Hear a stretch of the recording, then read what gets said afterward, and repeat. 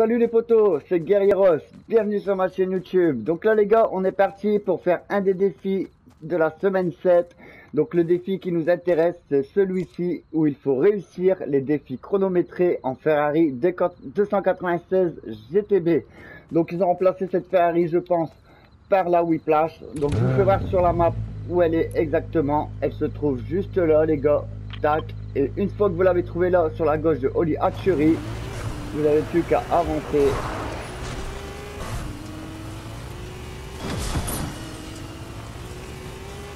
Et faire le parcours. Là, on va faire le truc dans la tempête. Voilà. Donc comme vous pouvez voir juste avant, le défi dans la tempête a été validé.